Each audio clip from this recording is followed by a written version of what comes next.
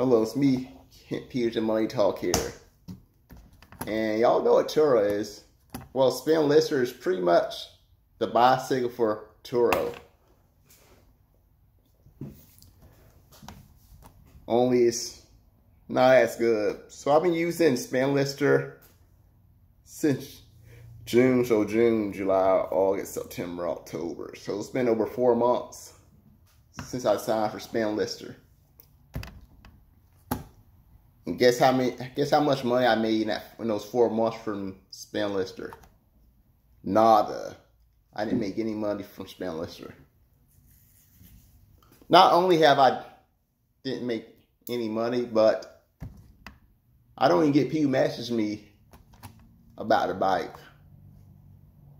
So basically, I just haven't really had any success with this Spinlister site. The, bike I am renting now, it's, it's a green mountain bike. I mean, it's a good bike. I'm renting it out. I had designed for like five six to five nine person, but you actually like change the seat so taller people can ride the bike.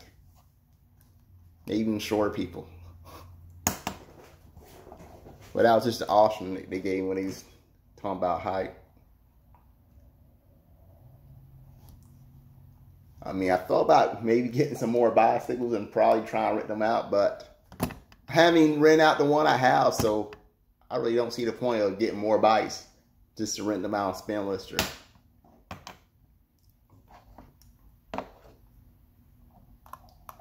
And I haven't made anything from referrals either.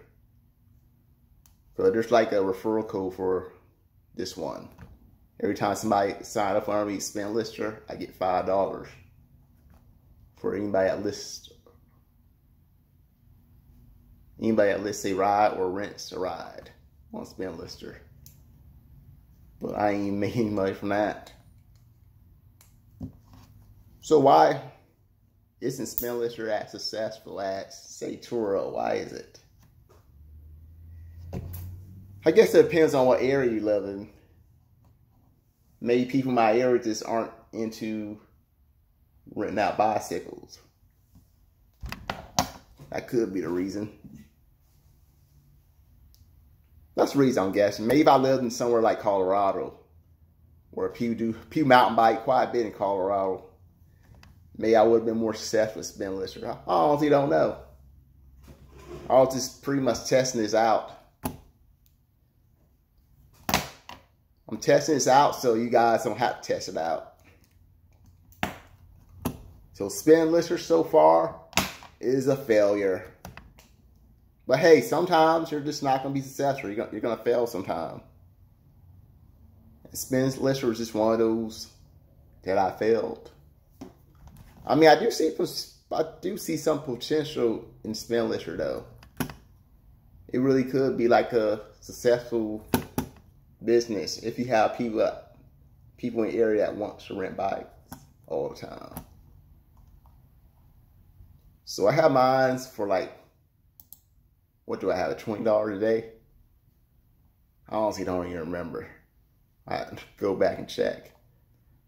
I believe I had like $100 a week if anybody want to rent my bike out for $100 a week. They could do it. I think I had like that. So that is basically it. If you if you're interested in giving Spinlister a chance, I shout my link down. I mean, just because I was successful with Spinlister does not mean you won't be successful. So you may want to give Spinlister a chance. You can do a video, let me know how success, how successful you were. Because honestly, I wasn't.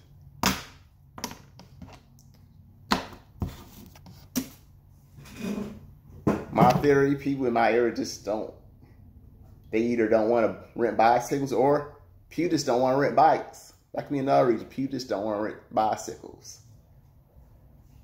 but with that being said, have a good day. Bye for now.